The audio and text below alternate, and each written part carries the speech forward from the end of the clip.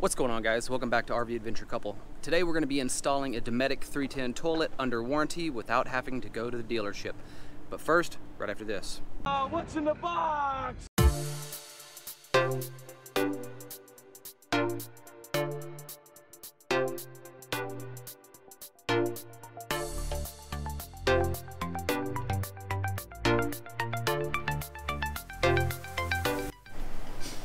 Alright folks, brand new Dometic 310 toilet that I called up Dometic myself and did the warranty claim. They didn't ask any questions really, um, just shipped it right out to me and I'm avoiding the dealership and doing this myself. Let's get into it. Alright, step one, let's cut off our water. Alright, we got it off. Step two, we're gonna drain our black tank.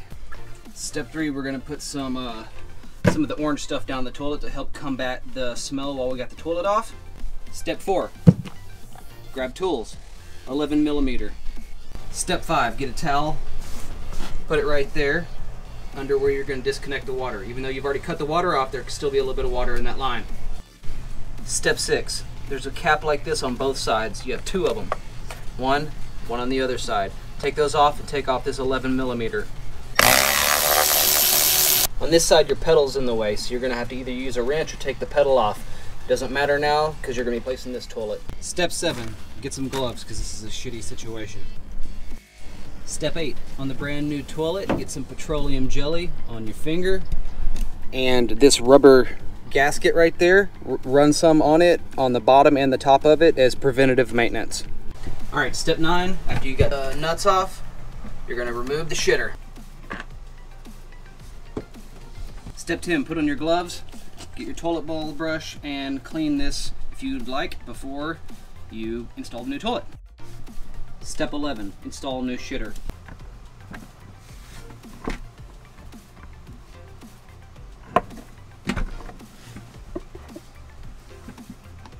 Step 12, take nuts and bolts, tighten down toilet. Step 13, reinstall the caps on the bolts here.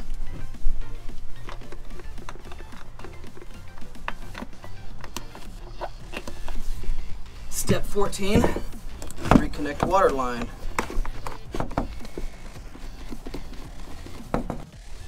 Step 15, tighten toilet lid and then put the caps in here and then you are done.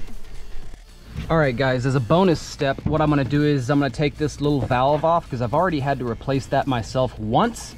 Um, and I may also harvest this water line just in case I ever need to replace it. But those are the only two things that I think that'd be worth the damn saving on this toilet. So I'm gonna take that off and I'll be done with it.